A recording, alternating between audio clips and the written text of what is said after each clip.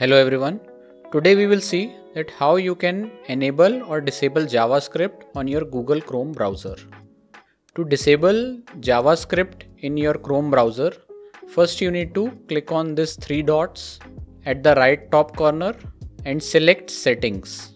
Now if you have the latest version of Chrome installed on your system, you will find the settings at the left hand side in this way. Now here you need to look for privacy and security section. Okay, so select that section.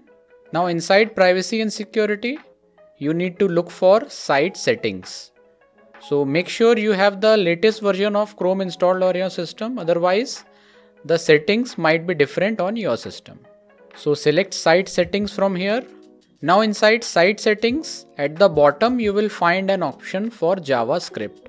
So click on that. Now here you will find two options. First one is sites that can use JavaScript and second don't allow sites to use JavaScript.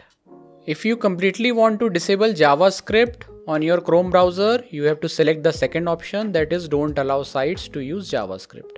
This will disable JavaScript on your Chrome browser okay to enable it again select the first option that is sites that can use javascript okay so in this way you can enable or disable javascript on your chrome browser. If you want to disable javascript from inspect element you can click on the video at the right top corner.